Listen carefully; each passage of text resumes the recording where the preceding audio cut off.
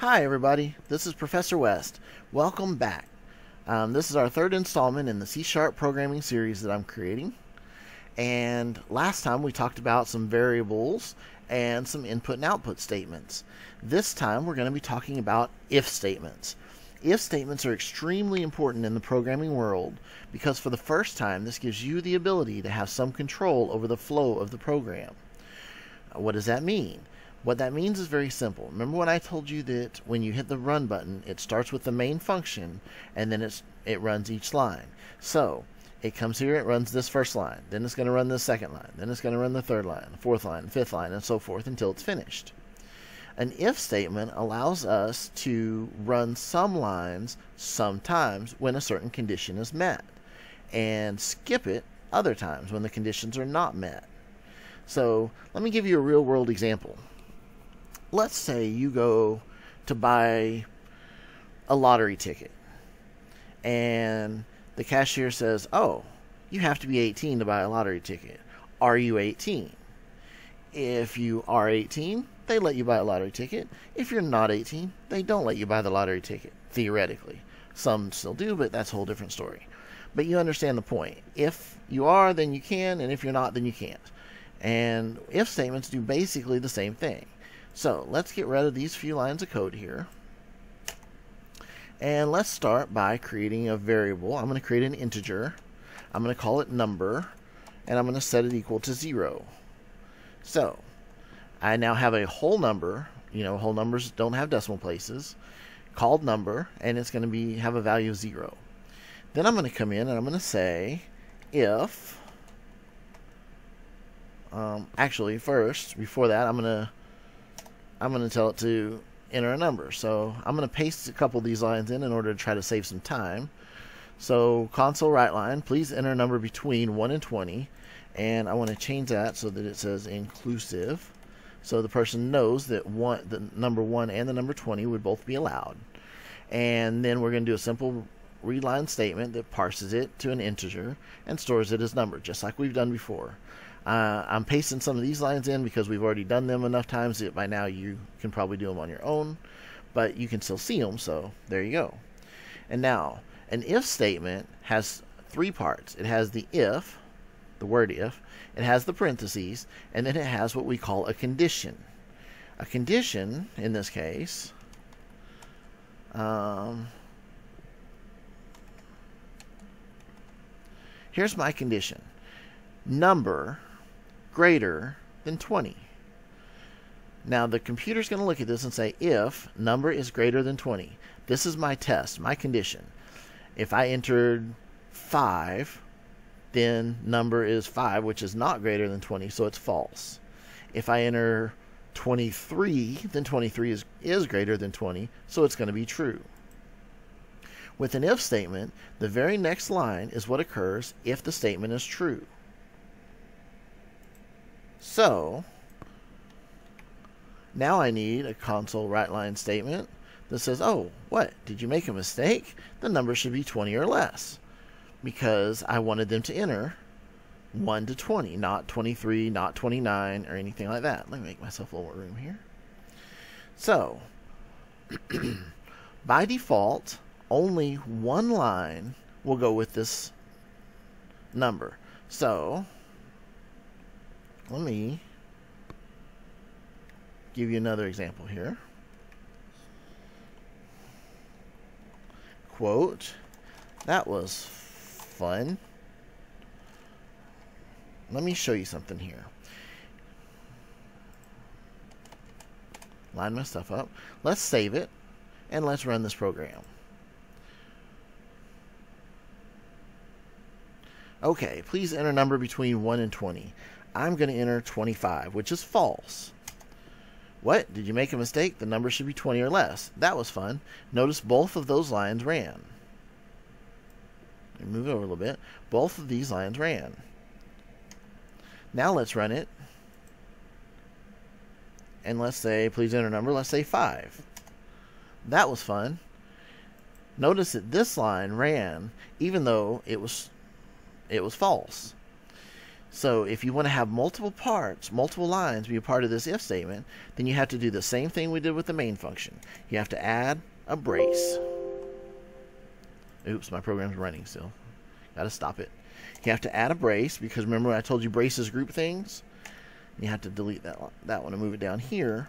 Now, everything this if statement, everything between this brace and this brace is part of this if statement.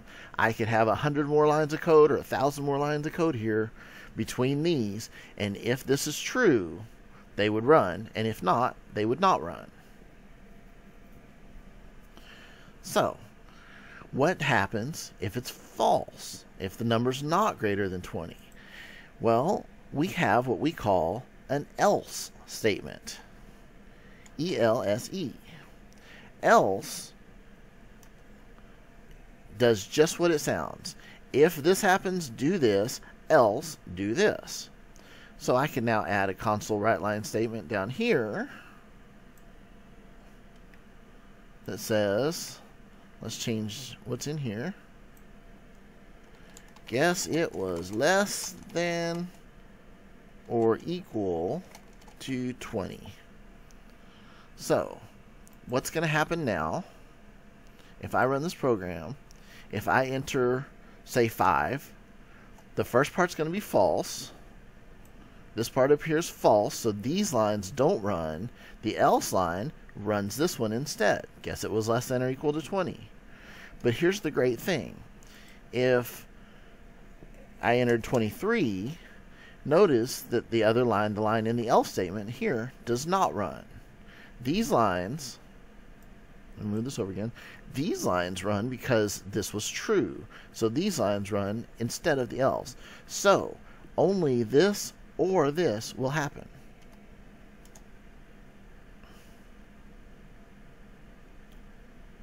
I did not mean to do that.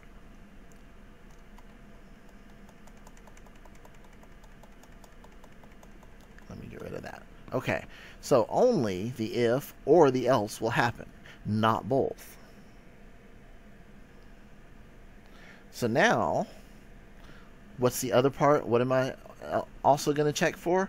I've already checked now to make sure that it was not greater than 20. So now I need another if. If it's true, if, it, if the number is less than 20, now I need to add another if statement that says number is less than 1. because that's the other thing I want to make sure. I want to make sure that the number is greater than 1 and less than 20. So if the number is greater than 20, I get an error message. If the number is less than 20, I'm going to come down and check to make sure it's still greater than 1. If it's greater than 1, if that's false, I'm going to write line, oops, looks like you entered a number that was not greater than 1. Oh, if that's true. So, if my number is less than 1, then it's going to come up and say, oh, it looks like you accidentally entered a number that was not greater than 1. This gives us another chance to test to make sure. So we can we can have as many as we want this is called nesting when you have one inside of another. If the number is greater than 20, these lines would run, and these lines would, this line here would never run. If the number is not greater than 20, these lines would be skipped, and the else would run. Now I can have another else for this one. Else, console.writeLine. Let me change what it says in it. It's just easier to paste that than keep rewriting it. Yay! You did it. And I don't need this line in here anymore. So let's run it and see what happens. Please enter a number between 1 and 20. If I enter 5, yay, you did it. If I entered 0, Oh, it looks like you entered a number that was not greater than 1. And if I enter something greater than 20, what? Did you make a mistake? It should be 20 or less. That was fun. So as you can see, this gives us a lot of control over how our program runs. This is the beginning of games. This is the beginning of um, everything that you do in a program. There's almost never going to be a point in a program where you're not going to use some sort of an if statement for control. So this is very, very important. Um, as you can see, uh, we can have more than one condition. We can have multiple conditions in the same. There's another way that I could do this if I want. Let me make a comment out of this so that you can see them side by side. I could also say if parentheses I could say um, I could have both conditions in one. I could say if number is greater than 20 and which uses two ampersands number is less than 1 now the computer's not going to like this because remember when I told you there was three parts to the if statement there was the if there was the parentheses and then there's the condition well these parentheses go with this condition now because there's two oops so I need another set of parentheses to surround everything. I need one set that's... Oh, stupid. Okay, I need one set that surrounds everything. So these outer ones tell it if all of this stuff. So what happens is... Actually, let me undo that. Why did that not undo? There we go. Let me copy this line. Yeah, you did it. If both of these conditions are true, if the numbers... Actually, I need to change these now that I think about it.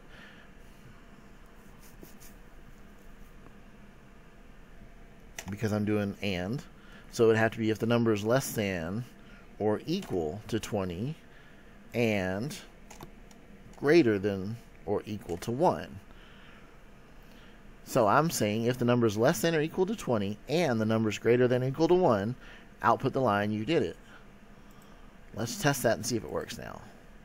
So theoretically, if I enter a 6, yeah, you did it. This is because this AND right here combines this and this. So what happens, this, this is very important. Let me make a little bit of space here. These right here are all within this outer parentheses. If all of this together is true, then this if statement is true.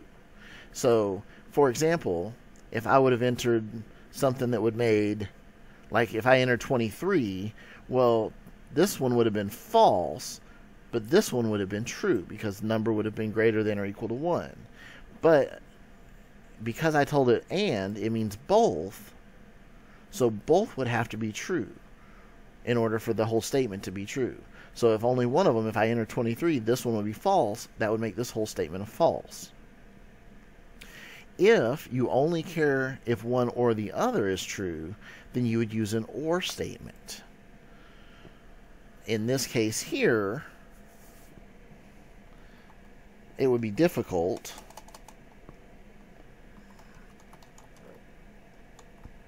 less than or equal to 20, and I'll show you why. Or, now in order to get this OR command, I had to hit hold the shift key and press this button that's directly beneath my backspace key on the keyboard. I had to do that twice. So that's hard one to find sometimes for people, so I like to point it out. Number greater than or equal to 1. Now here's what's going to happen let me write.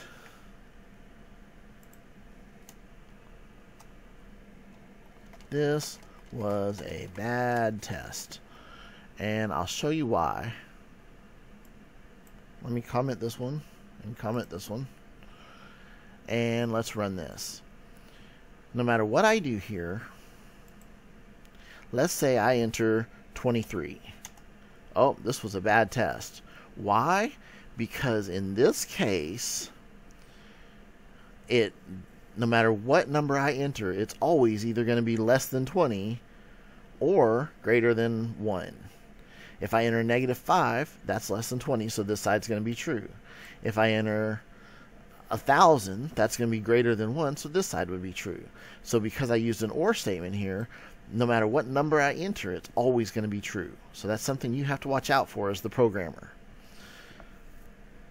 There are other times when OR statements are, are very useful, but in this particular case, it would not be good.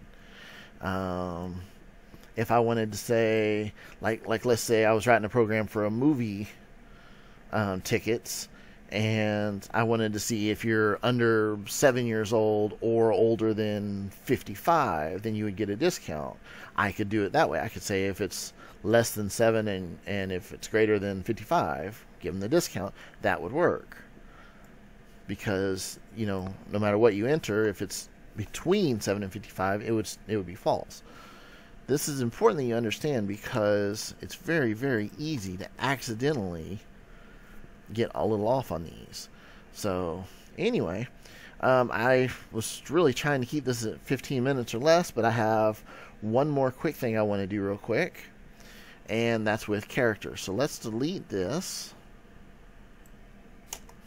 and let's create a variable real quick called a char, and I'm going to call it um, ch. We use that a lot for characters. Okay, I want to, in this program, test to see if it's an uppercase. So, console dot write line. I wasn't going to do that, but please enter a character.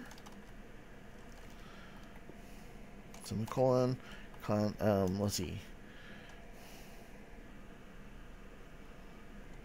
ch equals char console dot read.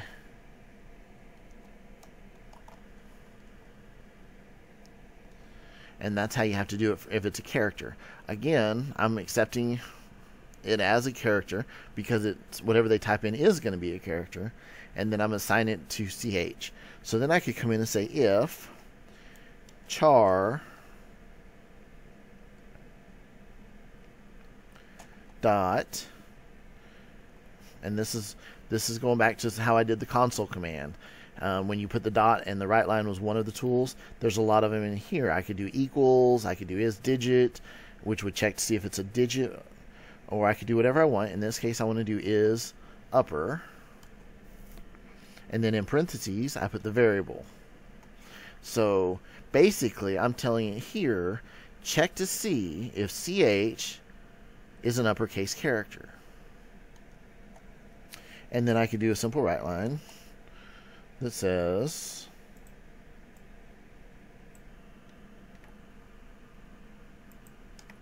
Hey, it's a it's an uppercase. Else I could have another test, but I'm just going to assume if it's not an uppercase that it's a lowercase. So let's run it. Please enter a character. Okay, H. Why not? And it says, oh, that character is a lowercase. Why? Because it came in and it did a test. It's tested to see if it was uppercase. That was false, so it went to the else and it did what I told it to do down there. Uh, if I run it and do something different, let's say I do a capital F. Now it comes up and it says, oh, the character is an uppercase. So that's just something that you can do. Sometimes um, before you do a test, like if I ask somebody, do you want to continue with this program, yes or no, you know, Y or N, sometimes I want to see if, if what they enter was uppercase or lowercase before I compare it. Because if I compare an uppercase Y to a lowercase y, it's not going to work. So, anyway, I hope you guys enjoyed this uh, segment on if statements. And stick around for the next one. It's going to get a lot of fun. Notice these programs are starting to get a little more complicated. So, alright, talk to you later.